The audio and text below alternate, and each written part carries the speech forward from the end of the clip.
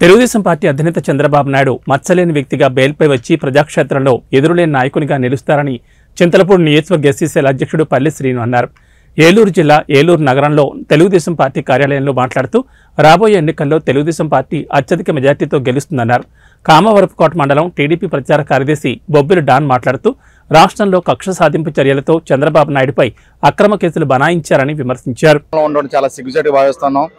మరి అదేవిధంగా మానశ్రీ నారా చంద్రబాబు నాయుడు గారు మరి మా మచ్చలేని మహానాయకుడు ఇలాగా మరి ఎంతకాలం మరి రాష్ట్రంలో ప్రతిపక్షంగా మరి అధికార పక్షంగా కూడా ఆయన చాలా కార్యక్రమాలు చేసే కూడా మరి ఈ జగన్మోహన్ రెడ్డి చాలా దౌర్భాగ్యంగా సైకో సైకోయిజాన్ని రాష్ట్రంలో తన తాత రాజారెడ్డి రాజ్యాంగాన్ని అమలు చేస్తూ అంబేద్కర్ రాజ్యాంగాన్ని తొంగల దొక్కే ప్రయత్నం చేస్తూ మరి తెలుగుదేశం మరి నాయకుల మీద మరి రాష్ట్ర వ్యాప్తంగా ఉన్న ప్రజలందరి మీద కూడా తప్పుడు కేసులు బనాయిస్తూ స- ఒక పైశాచిక ఆనందాన్ని పొందుతామన్నాడు.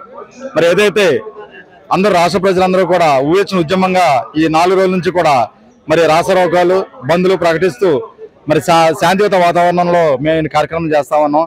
త్వరలో నారా చంద్రబాబు నాయుడు గారు మచ్చలేని మహారాజు వల్లే మరి తిరిగి మరి ప్రత్యక్ష రాజుల్లో రావాలని అందరం కోరుకుంటా ఉన్నాం. పేరు దివాకర్ బొబ్బులండి. కామవరపుకోట మండల టీడీపీ ప్రచార కార్యదర్శిని.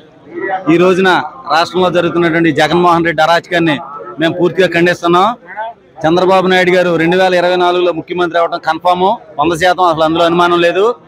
ఇంతకింతకి రెట్టింపు మీపై పగ తీర్చుకునే పరిస్థితి మీరు బాగా కల్పిస్తున్నారు. చంద్రబాబు నాయుడు గారికి కనుక త్వరలో చట్టపరంగా న్యాయపరంగా కూడా బెయిల్ వస్తుందని మేము నమ్ముతున్నాం. తప్పనిసరిగా ఈ ఈ జ- జ్యుడిషియరీ కూడా అన్నిటిని ఆలోచించి చంద్రబాబు గారి వయసును కానీ ఆయనకు ఉన్నటువంటి పనితీరు గతంలో ఆయన ముఖ్యమంత్రిగా చేసిన విధానం ఇవన్నిటిని కూడా గమనించి తప్పనిసరిగా వారికి బెయిల్ కూడా మంజూరు చేస్తారని ఆశిస్తున్నామండి.